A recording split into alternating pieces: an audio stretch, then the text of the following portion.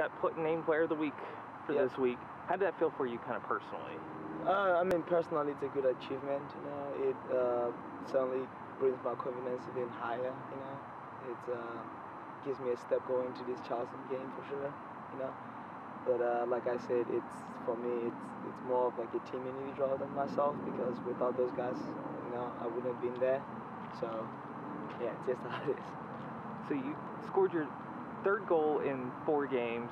Yeah. helped set up the first goal. Do you feel like you had a, a good game in the Orlando game?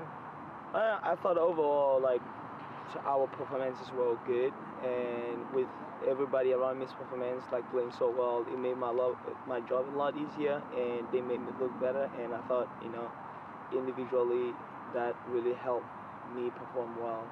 So uh, yeah, I thought my performance was good.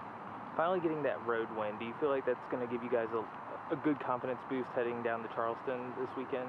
Yeah, I mean, we've been playing well, so I think that road win against a good Orlando team certainly gives us a really good momentum going to Charleston. I think everybody's spirit is very high, everybody's confidence is very high. So I think uh, I think that's really good for us.